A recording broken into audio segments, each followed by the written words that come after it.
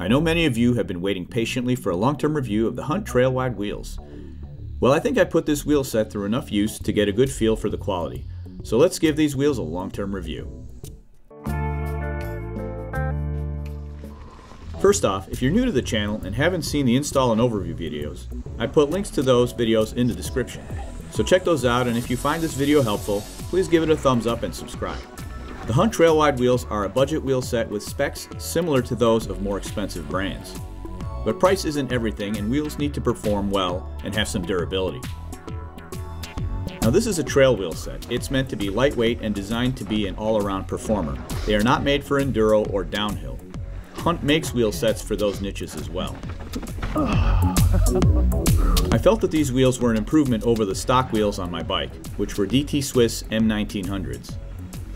The most notable difference was the weight. Because the hunts were a good deal lighter, it was less tiring on long pedal adventures. A few people have expressed concerns about the hubs and their durability. During my time using them, the hubs have held up fine with no issues and I found no moisture buildup.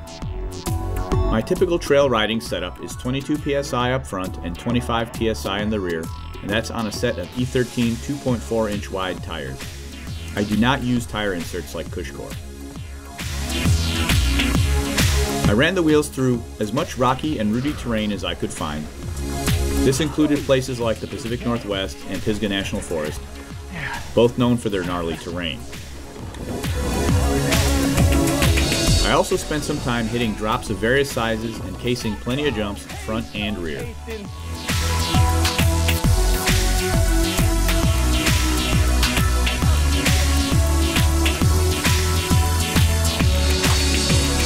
During my trip to Washington, I noticed my front wheel was slightly out of true.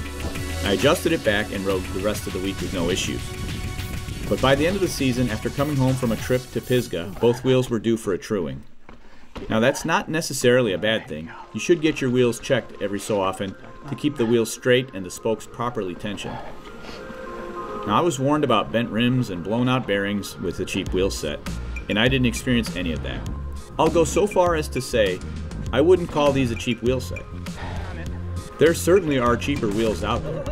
You need to look no further than some of the wheels spec'd on some 2000 plus dollar bikes from the big bike makers. Most are spec'd with some truly, truly shitty wheel sets. The Hunt Trail Wide wheels are far from that. In fact, the price has steadily gone up since I bought these wheels. When I first heard of the wheels, they were running about $375 a set, plus shipping. I bought these wheels for $430 plus shipping, and as of this video, the price is now up to $509 plus shipping to the US. Now if you're riding a lower spec bike, you will find these to be a big improvement over the cheap stock wheel set. Oh, the Hunt Trailwide wheels defy the old adage that you get what you pay for, because in my opinion, you're getting more value for your money.